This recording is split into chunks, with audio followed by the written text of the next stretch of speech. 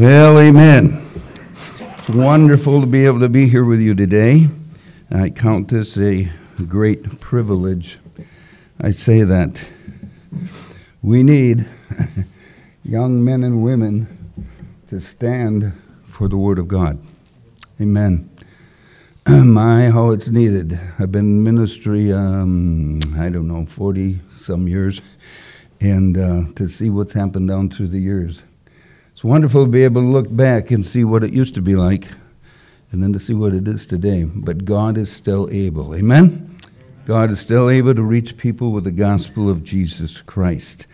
And so um, I want us to um, turn in our Bibles to simply Matthew chapter 1 and verse 21 to begin with this morning. Matthew chapter 1 and verse 21. You remember here concerning the birth of Christ, and I'll point to verse 21 And she shall, shall bring forth a son, and thou shalt call his name Jesus, for he shall save his people from their sin. Now turn with me also to, uh, then over to Acts chapter 4. Acts chapter 4. I'm not going to take time to, to read this whole passage here about the man that was sick and they, uh, in, in verse 12, I want to emphasize simply this one verse, and that is Neither is there salvation in any other, for there is none other name under heaven given among men whereby we must be saved. Let's pray. Heavenly Father, now we need your power and your strength this, this morning. Father, these young people need to hear from you, not me. But God, I pray that you'd use me hide me behind your cross once again, Lord. And uh, Father, give forth that which needs to be given this morning to meet the needs of these young people. Father, we got the cream of the crop here. But, oh, dear God, speak to our hearts. Give us what we need from you, Lord, this morning. Bless now as only you can, and we'll thank you now. In Jesus' name we pray. Amen. Entitled my message this morning simply is Jesus Only. Jesus only. I'd like to share my testimony. First of all, I grew up in Ripon, Wisconsin for a number of years. At eight years old, I went to Evangelical United Brethren Church. I was fortunate to have a Sunday school teacher that uh, knew the Lord, and the only time I ever heard the gospel really was through the Sunday school teacher. After the morning Sunday school class, she drew me aside. She said, Larry Moodie, you're a naughty boy. and I was. you know how that is. You deal with them many times, amen. And uh, but that's what I was, and she she nailed me.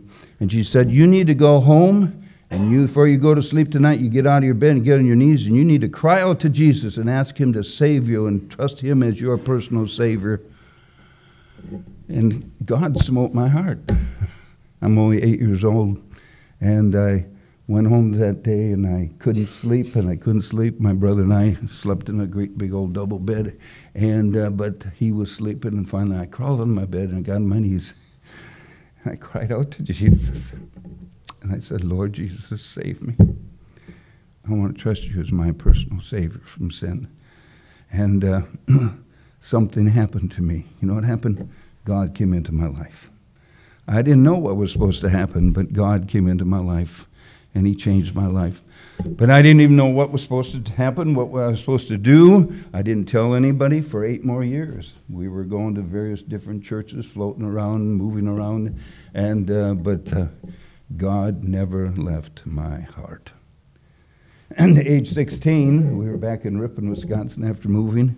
My dad got sick. My dad passed away of a stroke suddenly, and uh, I started walking across town to church and I stood up in evening service that evening and uh, I shared my testimony how I trusted Christ after being in her Sunday school class eight years before that.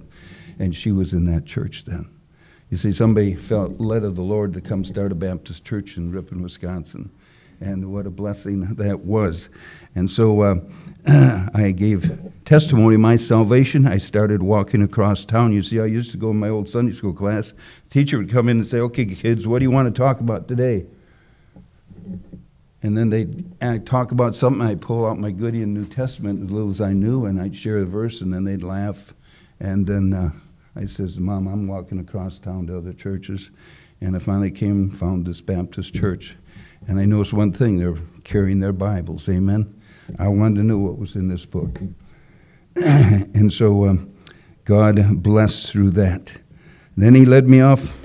Well, at 18, I finally got baptized, 10 years later, after I got saved. And then I was off to Bible school. I was going to go to Stout State College to be an industrial arts teacher.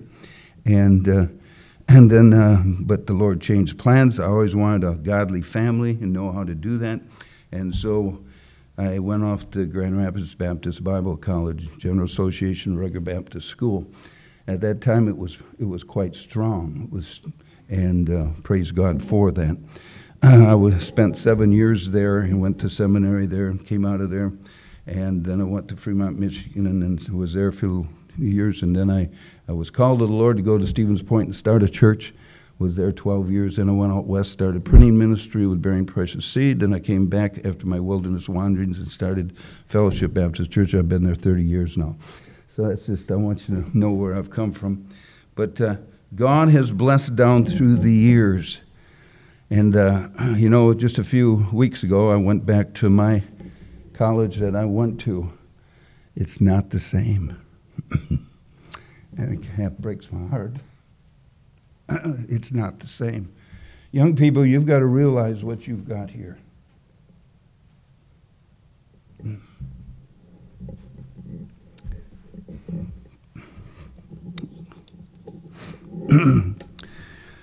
my heart is uh, tender because of what used to be there. I went back there a few weeks ago. Feel it's a couple months now. Time goes so fast. Went back for a 50 year kind of anniversary deal. And then went to this beautiful chapel, seats probably over a thousand people, auditorium and so forth and a stage in the middle, and all these things. They take us through the tour and tell all the buildings, beautiful campus, all these things. But Jesus is missing. Yet they called the chapel Christ Chapel. I've got a brochure here I took, and this is what at the end of it told about the beautiful windows they had. So you got a clock there. I'm watching. By the way, I came prepared today. And so, uh, but uh, beautiful windows in this chapel. Over $2 million somebody gave these windows to this chapel. And it tells about the four different windows, but I don't want to share with you quickly. It's just the one blue one. And listen to this is what it says the blue window. The blue window facing the west represents bapti- the baptism of Christ. In it, we see John the Baptist hand pouring water over Jesus' head. Whew. Do you know what that means? I mean, it's not Baptistic at all. It's just gone down the tube. It's down the tube all the way. You see, I'm, I'm a Baptist by conviction. I didn't grow up a Baptist, but God saved me. And you know, when a person gets baptized, it shows a testimony of Jesus Christ's death, burial, and resurrection. When I got saved, I repented of my sins and I trusted Christ as my Savior. I trusted His death on the cross. First of all, I trusted that He was God in the flesh and only He could go to the cross and die for me. I trusted in Him as my Savior that died for my sins. He not only died on the cross, but he was buried. And on the third day, to take away all my sin, even death itself. And on the third day, he rose victorious, you see. And that's the Savior I trusted in. But it doesn't stop there. The Christian life, then he ascended up into heaven.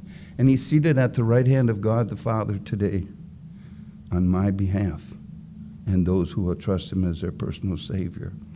And He's there to intercede for my sin. He's there to intercede for me. He's there to show me, to guide me, and direct me in life.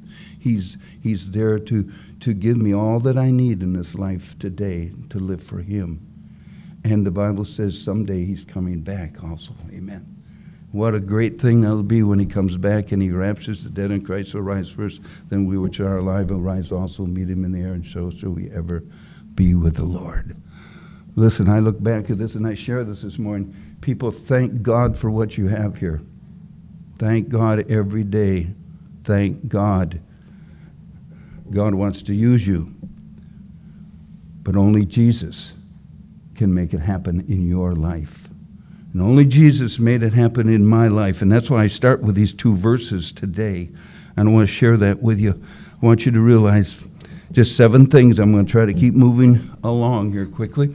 But uh, seven things. Listen, only Jesus Christ can save.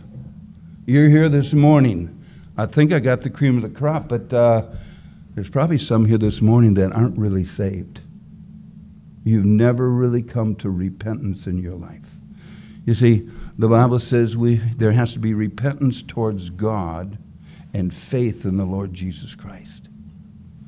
And to come to realize that and understand that and really rest in Christ then for your salvation. You see, young people, as much as you want to serve the Lord and so forth, that's, that's great. That's wonderful. But serving the Lord, serving the Lord isn't what saves you not what saves you. I think of a sister in law of mine, my wife's sister, went for 12 years and served God over in Africa and finally realized this is all God wants her to really rest in Him every day of her life. You see, it's not Christian service that gets us saved. You see, it's not Christian experiences that people have that get you saved. It's coming to the place of resting in Jesus for your salvation. I've dealt with even a college kid here, I think last year or so, and uh, said, uh, I want to talk to you. I went out and, and uh, talked to him and frustrated. I don't know if I'm really saved. Maybe you're here this morning, you say, I don't know if I'm really saved.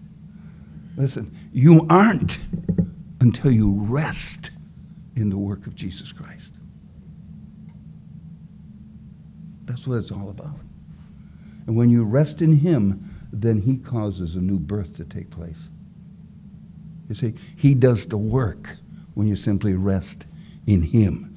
And so I say, first of all, only Jesus can save you from hell. Only Jesus can forgive you of your sin. Only Jesus can give you peace in your heart. Only Jesus, only Jesus. For you that are saved and know what I'm talking about, listen, when you talk to people, Get that stuck in your head. Only Jesus can save. There's no other way to be saved. You see, only through Jesus Christ can we be saved. And so I share that with you. You know, people have to come to true conviction. You know, in life, people have to come under conviction of sin before they'll ever have a desire for God. Think about it. You want to lead somebody to the Lord, you got to get them you got to get them to the place they really are convicted over their sin. It's easy to lead somebody to the Lord, but we have to bring them to the place of real conviction. And today, people are living in the rampant of sin all over the place and they don't know it. Everybody's living together, whoever wants to live together, you know, any place, anywhere. It's called sin. Okay? There's no standards anymore. All these things floating out the window. I mean, you are a privileged people to be here this morning, especially if you're truly saved and you want to serve Jesus. Only Jesus can bless you. Listen, I'm so glad that God saved me at age eight years old. Came into my life and He saved me. And He's changed my life. Praise God that he then he called me into the ministry. The last thing I ever wanted to be is in full time service for the Lord, but I was in full time service, and we all to be in full time service, if you know what I mean. You don't have to stand behind a pulpit to be in full time service. Amen? Amen. I love to lead people to the Lord, share Christ with people uh, wherever I am. I love to work. I've led many people to the Lord because I worked with them. We've got a lot of lazy people and young people, because you're a Christian, don't you ever be called lazy. Be a worker. Be a worker. I worked as a carpet installer, and I made up my mind that I was going to do whatever he told me to do. He was in question, and I went to get the job, and he uh, and he said, "Tell you what." He found out that I was come to town to be a to start a church up where we are now, and I didn't start till I was about 42 years old installing carpet, and uh, and uh, anyway, he made sure when I went to see him, he because he, he said to me, uh, he says, number one, we work. You see, he really didn't want me to come work with him. he said, we work. He found out I was a Baptist pastor and coming to start a church there in the area. And so I was a little, he says, number one, we work. And number two, we don't talk. he was quite adamant about that and made that clear. And then, uh, then he said, uh, uh, he talked a little bit more and he says, well, you go home and you think about it. And he said, but remember, number one, we work. And number two, we don't talk. And I said, Well, I'll go home and I'll think about it and I'm going to pray about it. I went home and I thought about it and I prayed about it. And the next day I called him on the phone and he says, Come to such such place then at such such a time. And I was there five minutes early. And, and then I started working. He taught me how to trowel glue on the floor, you know. And, and uh, anyway, I'm troweling glue, and the boss comes down from that owned that business, and, and I was sweating and uh, he says, Hey, Steve, he says, what happened to the fellow you had with you last week? He says, Oh, he says, needless to say, you know, he never even turned any hours or anything. He hasn't been back. But he says, he was on the floor troweling glue like Larry is. And, uh, and anyway, he says, uh, he says, uh, he asked me the question. He said, I suppose when you start stretching and carpet into homes and stuff, it gets a lot easier. And I, Steve said to him, No, it's a lot harder. He says, needless to say, he never showed up for work after that. But he was saying something to me by saying that. And I made up my mind, I'm just going to work harder. I'll do anything you do. And I did. You know what happened in three months? The man got saved. what a blessing he's been to me down through the years. But you see, God wants to use us. God wants to use. Only Jesus Christ can save. Only Jesus Christ can save people from hell, and hell's a real place, and people are going to spend eternity there. Today, it's a bad word, but used freely by people today, not realizing the truth of the word. But listen, I want to go on this morning quickly, and that is, for secondly, here, Jesus not only saves us, and by the way, if you're not saved, get saved today. Make that decision. Rest in the work of Jesus Christ. You say, what do you mean? Just believe the word and rest in Him for your salvation. Confess your sin and turn your life over to Him. Let Him come into your life. Secondly, only Jesus Christ can give you true leadership for your life.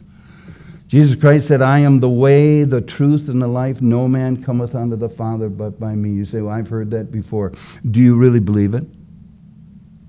Is He really the way for your life? Is he really the truth? You know, that's what salvation is all about. God is all about truth. God the Father's truth. He says you must worship him in spirit and in truth. Jesus Christ said, I am the way, the truth, and the life. Talks about the Holy Spirit coming in John. He's going to be the spirit of truth. It's all about truth. You see, we've got to come to the place of being honest with ourselves then we've got to be honest with God, and then we can be honest with each other. Everything's based on truth. And oh, what a wonderful thing when we see that we let truth, the Lord Jesus Christ, take over in our lives. What a blessing. You know, thirdly, only Jesus Christ can give you real purpose in life. Real purpose in life.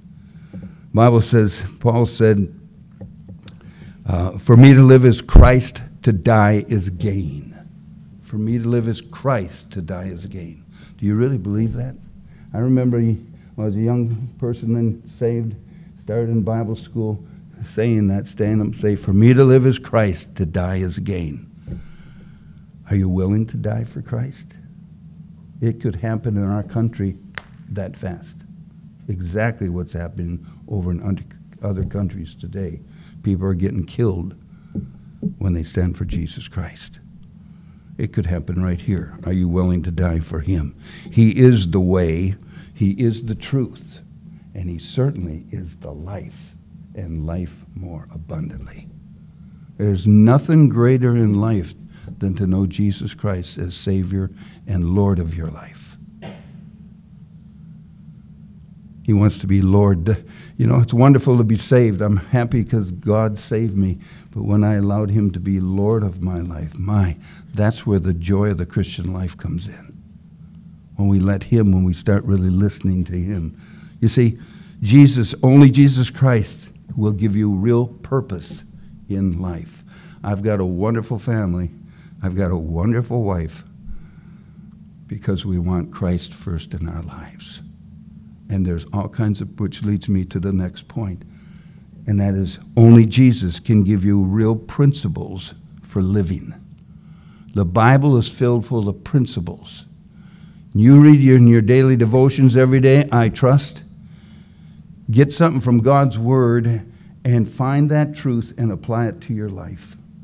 Let God take control of your life in every area.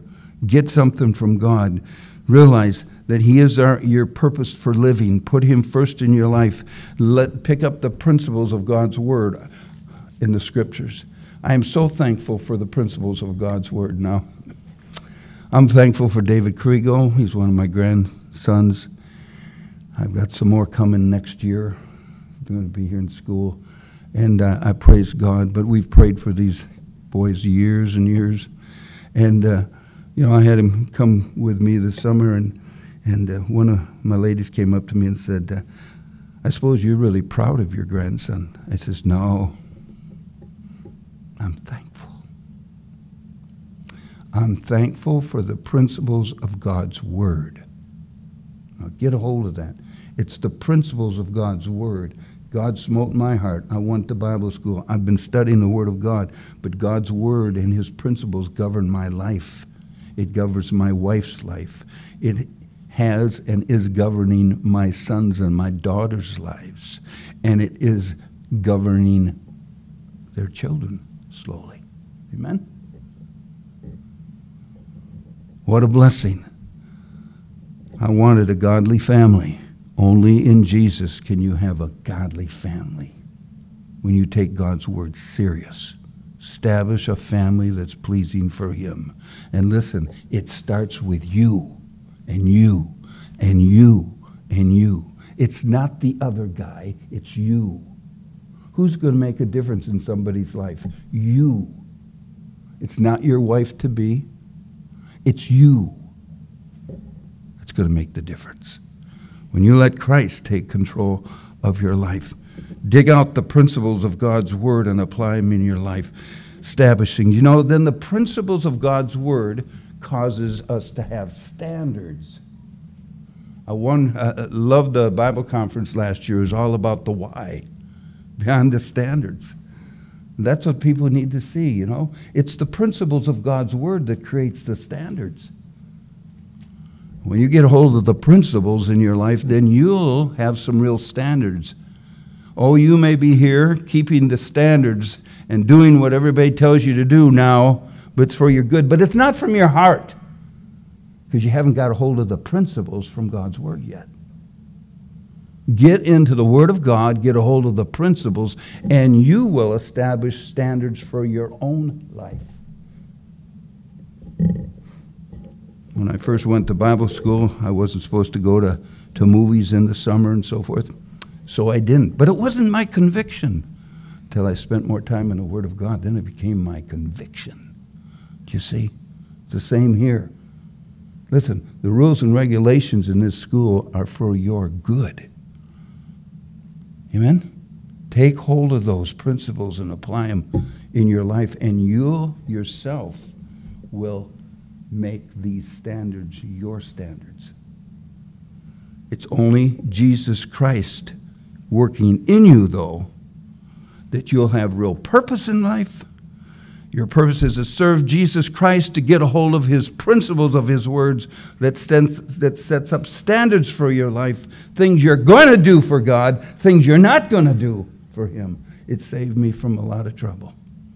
Many years ago, my daddy had to go to the hospital, and he couldn't keep food down. And we were just young kids, four. I had three brothers, and uh, he stood us all up in front, and my mother was there. And he says, I'm going to the hospital. I don't know if I'm coming back. He says, Number one, he says, You obey your mother. And then he took a cigarette out and he says, And don't you ever, don't you ever, don't you ever take one of these. I never have taken one of those. And you know what?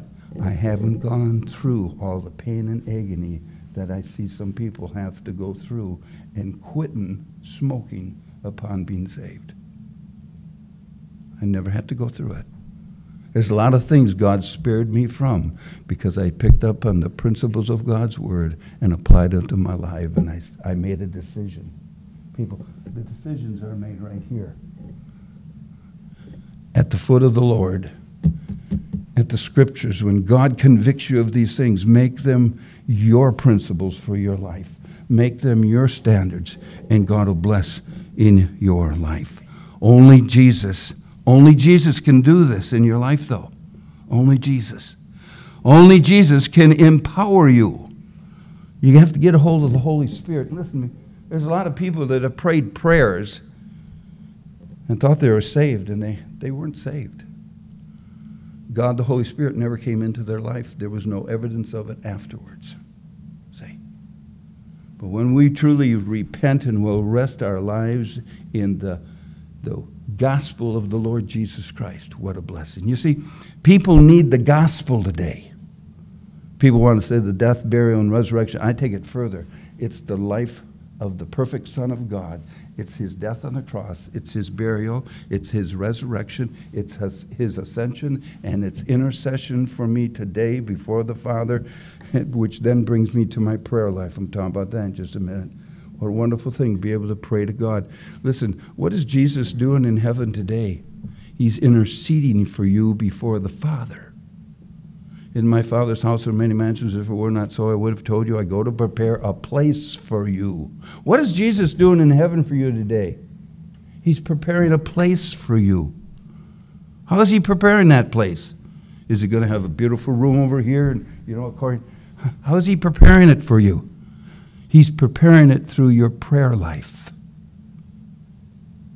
Think about it. That's what he's doing in heaven. He is our go between before the Father, he's the, our mediator.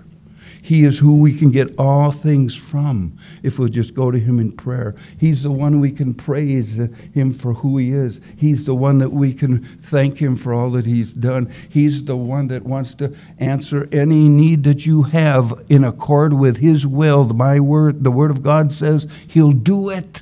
He'll do it. Any need. People, we run to the doctor before we ever get to our knees and ask God what the problem is what the need is. Today we worship doctors when we've got a God up in heaven that wants to instruct you and teach you. You know, you have not because you ask not. I, I mean that seriously. Now, I'm not afraid of doctors, and I go to doctors, okay? I'm telling you, go to God first, though. Jesus can show you our sicknesses and many things that we have, now I meant a little bit, but I'm going to. The many sicknesses we have today, we bring on ourselves. You aren't eating right, we're eating junk. You're trying to stay up all night, trying to go to school, right, brother? I'm trying to wake you up. I promised him I would. So I'm just saying, we have a hard time. There's things we torture our bodies. We can we get on our face before God and ask Him what is wrong? What's happening with my body? Now, listen, I'm not worshiping the body, but this is the temple of God. This is the real temple of God. Your body, He lives in, right? That's where God the Holy Spirit lives, right? Or aren't you saved? If God's going to do something in this world through the power of the Holy Spirit, He's going to do it through you as you learn to pray to the Father through the name of Jesus Christ and learn to follow Him. You know, it's amazing what God will do if we just pray. Lord, I want to do your will. This uh, couple of Thursdays ago, I was sitting at a Kwik Trip waiting for another fellow. We were going to go have a service at a, at a, at a high rise over here. I have a number of services outside of our church building, and, and uh, I'm sitting in the car. I picked up my Bible, just started reading. Fellow working outside comes up to the car. He says, and he was working, sweeping out the, the, uh, the front there, trash and stuff, picking up, and he comes, I see you, you reading your Bible? I said, Yeah, I'm reading my Bible. And he says, I've got a Bible. anyway, and I said, I just turned to him. I says, Well, do you realize that the Bible tells you that you can know the way to heaven? You know Jesus Christ is your personal Savior? No. And I shared with him the scriptures in just five minutes, and I led him to the Lord. Praise God. Praise God. I'm having Bible study with him. You know, that's being led of God, though.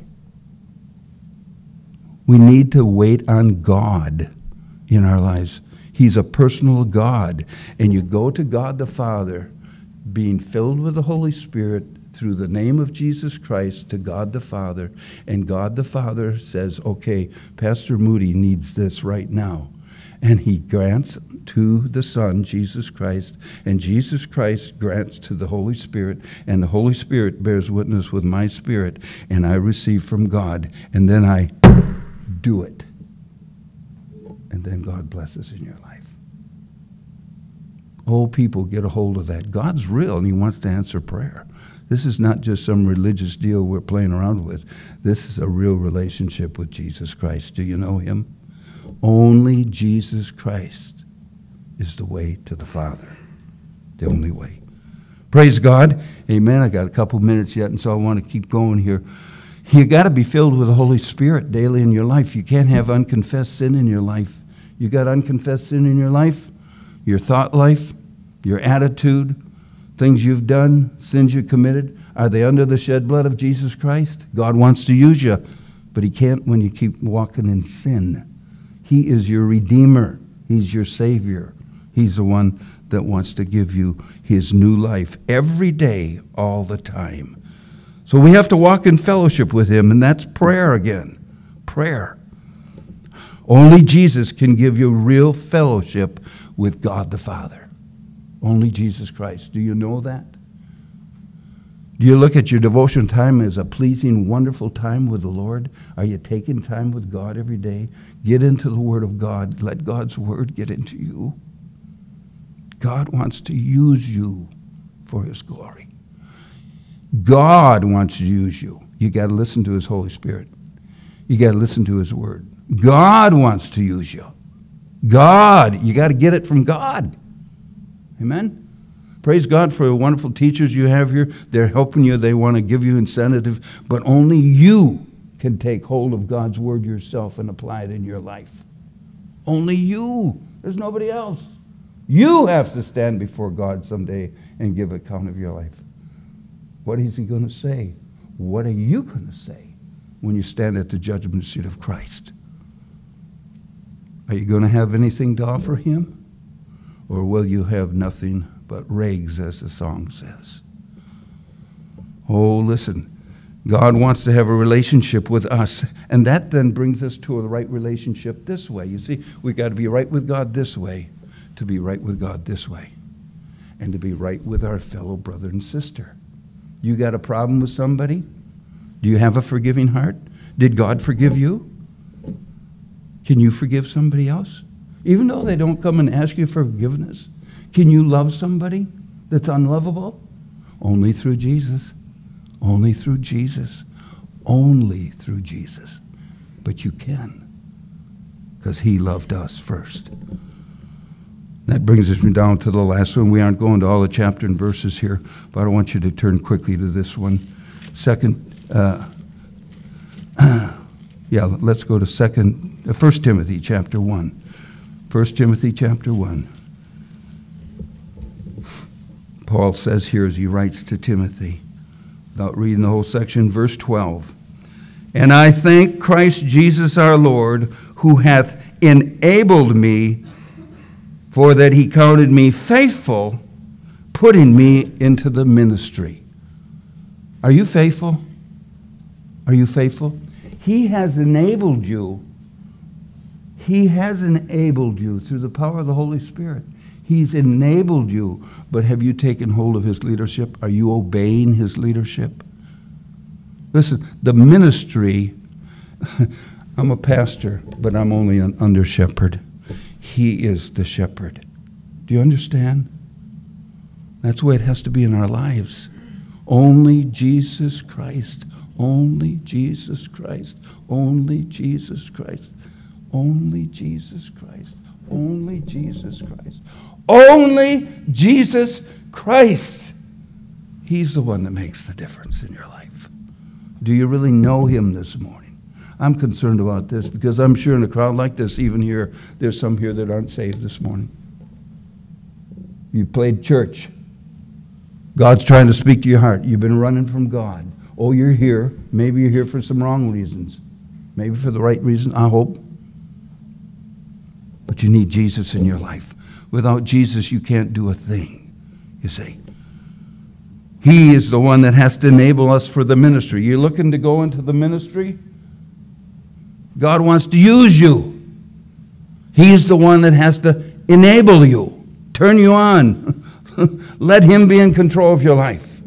Only Jesus can do that in your life. One more here and go to 2 Timothy, 2 Timothy chapter 4 verses 17 and 18. Notwithstanding, the Lord stood with me and strengthened me, that by me the preaching might be fully known, and that all the Gentiles might hear. And I was delivered out of the mouth of the lion. And the Lord shall deliver me from every evil work and will preserve me until his heavenly kingdom, to whom be glory forever and ever. Amen. Amen. Oh, what a testimony. What kind of testimony are you now? What kind of testimony will you have when you stand before Jesus, at the judgment seat of Christ? You know, that's why Jesus is in heaven today. He's preparing a place for you. That's up to you what you do with Jesus. The more you come before Him in prayer and you ask of Him, the more you're in the Word of God and you yield to Him, the more God wants to bless in your life. The more He's going to strengthen you, the more He's going to build you. He wants you to be used for His glory, not your own, for His glory. But only Jesus can do it for you when you yield to Him. I think of Proverbs chapter 3 and verses 5 and 6. Trust in the Lord with all thine heart, and lean not unto thine own understanding. In all thy ways acknowledge him, and he shall direct thy paths. That word acknowledge, look it up. You know what it means? Receive God's knowledge. You know what it says? Receive God's truth. Receive it, receive it. Don't run from it. Run to Jesus Get all you can from Him and use it all for His glory. And someday you'll stand before God and have to give an account of your life. What will it be at that day? The most important person in anyone's life must be Jesus. Is He first in your life? Do you know Him as your personal Savior? Are you looking forward to His coming? Are you serving Him today? Are you where God wants you to be? I want you to consider in closing moments here. What will you do with Jesus today? Are you, first of all, are you truly saved? Do you really know Christ is your Savior? You got that settled? Get that settled. Get that settled right here this morning. Cry out to God. Let Him come into your heart and save you. Do you really want to put Christ first in your life? Do you want the joy of Him in, in your life? Will you let Jesus take control of your life?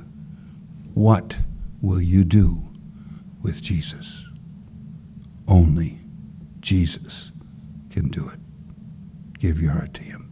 Let's pray.